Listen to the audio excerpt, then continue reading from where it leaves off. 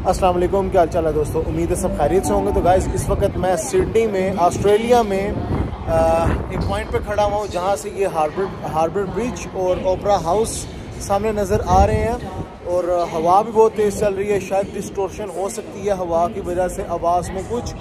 तो इस चीज़ को आप नज़रअंदाज कर दें। मैंने आज बात करनी है कि ऑस्ट्रेलिया क्यों ज़रूरी है, किन लोगों को वीज़ा मिलता है और क्या ट्रैवल हिस्ट्री में इसका किरदार है। क्या हर बंदा यहाँ पे आ सकता है? या सिलेक्टिव पर्सन ही यहाँ पे आ सकते हैं। और किन डॉक्यूमेंट के ऊपर ये आप आसानी से यहाँ पे आ सकते हो? या वीज़ा मिलता है। तो इन सारी चीज़ों पे मैं आज बात करूँगा। दोस्तों, सबसे पहले मैं बता दूँ ऑस्ट्रेलिया उन चंद कंट्री में से है जो कि जिनकी इकोनॉमी बहुत ज़्यादा स्ट्रॉन्ग है। या फिर जो कि दुनिया के टॉप फाइव कंट्रीज़ कह सकते हो। उनमें है नंबर वन जैसे कि America Canada UK New Zealand Australia ये five five countries English countries और भी इंग्लिश कंट्रीज़ एक दो कंसीडर होते हैं लाइक सिंगापुर हो गया या फिर आयरलैंड हो गया। लेकिन जो टॉप फाइव हैं वो यही कंट्रीज़ हैं जिनकी एक्चुअल लैंग्वेज ही इंग्लिश है। तो ये इनकी इकोनॉमी बहुत ज़्यादा स्ट्रॉन्ग प्लस अगर ऑस्ट्रेलिया के पासपोर्ट की बात करें तो दो, दोस्तों इनका पासपोर्ट दुनिया के वर्ल्ड इंडेक्स इंडेक्स रेटिंग में नंबर आठ पे आता है जो कि कनाडा के पासपोर्ट के साथ जिसका कंपैरिजन किया जाए तो सेम सेम है।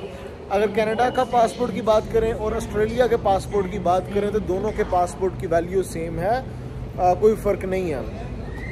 अच्छा लेकिन ऑस्ट्रेलिया कहीं ना कहीं किसी ना किसी पॉइंट किसी न किसी जगह पे कुछ ना कुछ एज ले जाता है कनाडा से। उसकी रीज़न ये है यहाँ का वेदर बहुत ज़्यादा अच्छा है प्लस यहाँ पे सैलरी वेजेस बहुत अच्छी मिल जाती हैं। और इसके ऊपर बकायदा एक अलहदा से वीडियो बनाऊँगा टॉपिक एक अलहदा से बनेगा कि क्यों ये एज पे जाता है कनाडा से। तो बात करनी है कि जी, किन क्यों ज़रूरी है? मैंने ऑलरेडी बता दिया, जैसा कि इकोनॉमी वाइज बहुत स्ट्रॉन्ग है पासपोर्ट के हवाले से बहुत स्ट्रॉन्ग है टॉप फाइव कंट्रीज़ में से इसका शुमार होता है और यहाँ पे अगर इमिग्रेशन के हवाले से देखा जाए तो इमिग्रेशन भी ज़्यादातर लोगों की होती है क्योंकि कनाडा में की जाए नंबर दो पे ऑस्ट्रेलिया की ही प्रायोरिटी आती है।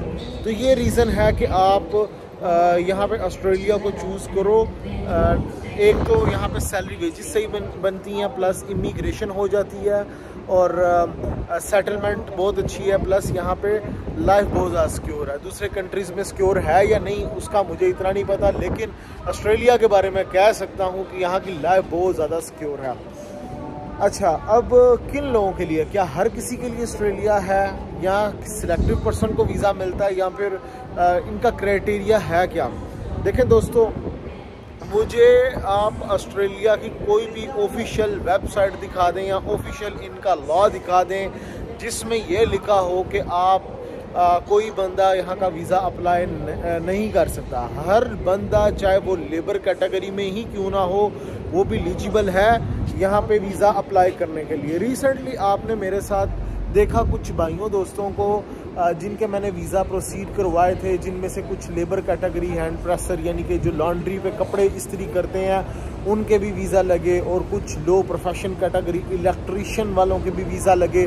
और हर कैटेगरी के लोग उनके साथ मैंने वीडियो बनाई हुई है। अच्छी कैटेगरी वालों के लगे हैं। ओबियस बात है पार्टनर इन्वेस्टर मैनेजेरियल लेवल या फिर सेल और चीफ क्लर्क इस तरह के जो प्रोफेशन थे, उनके भी वीज़ा लगे ऑस्ट्रेलिया के।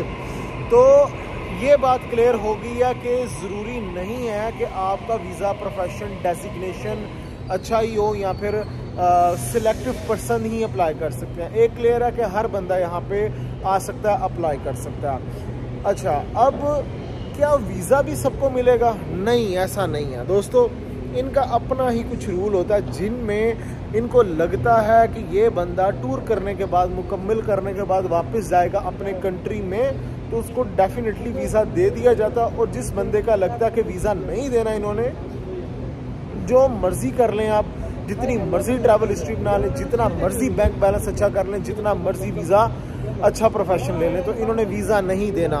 और जब वीज़ा की रिफ्यूज़ल लग के आती है तो उसके अंदर जो रीज़न लिखी जाती है तो एक तो सरकमस्टांस लिखे जाते हैं कि आपके कंट्री के सरकमस्टांस नहीं सही हैं और आपके भी सरकमस्टांस नहीं सही तो इसलिए वीज़ा नहीं दे रहे। पिछले कुछ दिनों में आपने पहले देखा होगा ऑस्ट्रेलिया ने वीज़ा नहीं दिए और अच्छे खासे ट्रैवल हिस्ट्री वाले लोगों को भी रिफ्यूज़ कर दिया गया और वीज़ा नहीं दी, मिला। लेकिन अभी करंट सिनेरियो की बात करूँ तो ऑस्ट्रेलिया की वीज़ा रेशो सबसे ज़्यादा अच्छी है। अगर कनाडा के बाद किसी कंट्री को प्रेफरेंस देना चाहते हैं आप तो ऑस्ट्रेलिया को दें। यहाँ पे आपको आसानी से वीज़ा मिल जाएगा। देखें आ, हर बार आ, अगर आप देखते हैं हर महीने में किसी ना किसी कंट्री की वीज़ा रेशो रहती है। कुछ मंथ्स में अमेरिका की रही, कुछ मंथ्स में शंजन की रही, कुछ मंथ्स में आप देखोगे न्यूजीलैंड की रही, फिर कनाडा की बहुत ज़्यादा वीज़ा रेशो अभी भी चल रही है। तो उसके बाद आपने ऑस्ट्रेलिया में वर्ल्ड कप में जब हुआ था, वर्ल्ड कप में आपने देखा होगा, इनकी वीज़ा रेशो बहुत अच्छी रही थी, उसके बाद गिर गई थी। अब अगर मैं बात करता हूँ, ऑस्ट्रेलिया दोबारा शुरू हुआ है, ऑस्ट्रेलिया दोबारा से वीज़ा दे रहा है। अगर अप्लाई करोगे तो आपको वीज़ा मिल जाएगा। आपके अच्छे चांसेस हैं। 80 परसेंट नाइन्टी परसेंट चांस है ऑस्ट्रेलिया वीज़ा दे देगा।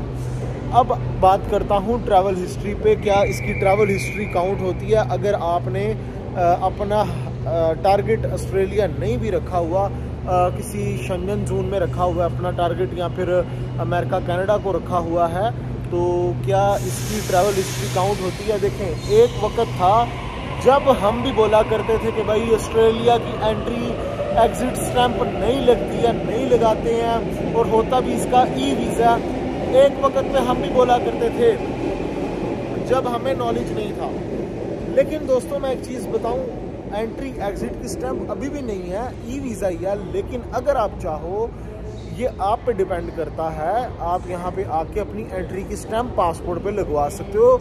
ये मेरा सेकंड टाइम है कि मैंने ऑस्ट्रेलिया में ट्रैवल किया और मैंने अब इस बार पासपोर्ट पे स्टैम्प भी लगवाई है पासपोर्ट पे। और मैंने ऑलरेडी वो स्टैम्प टिकटॉक पे और यूट्यूब पे पहले भी वीडियोस में मैंने मेंशन किया और दिखाई भी है कि भाई मेरी एंट्री की स्टैंप लगी है, जिस पे बहुत सारे लोगों ने नेगेटिव कमेंट भी किए थे कि ये सारी झूठी वीडियो है एंट्री एग्जिट की स्टैंप नहीं लगती है? एग्जिट का तो मुझे अभी तक पता नहीं है, क्योंकि मैंने अभी एग्जिट नहीं किया। एंट्री मैंने की है। एंट्री की स्टैंप मैंने ज़रूर अलबत्ता लगवाई है पासपोर्ट पे। जब एग्ज़िट करूँगा तो एग्ज़िट की स्टैंप लगवाऊँगा तो वो भी दिखा दूँगा। तो जो भाई यहाँ पे ऑस्ट्रेलिया में आ रहे हैं तो मैं उनको बताता चलूँ एंट्री की स्टैंप आप लगवा लो और नहीं भी लगवाते हो, जो बोर्डिंग पास हैं, वो आप संभाल कर रख लो। और जब आप ट्रैवल करोगे किसी और कंट्री में वीज़ा अप्लाई करोगे उसके साथ लगाना तो आपकी ट्रैवल हिस्ट्री डेफिनेटली काउंट होगी। बहुत स्ट्रॉन्ग ट्रैवल हिस्ट्री काउंट होगी। तो ये कुछ इन्फॉर्मेशन थी, सोचा आप लोगों के साथ शेयर की जाए और अब वीज़ा के बारे में बताता चलूँ।